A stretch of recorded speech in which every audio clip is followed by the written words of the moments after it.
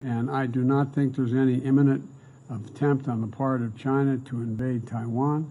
And I made it clear that our policy in Taiwan has not changed at all.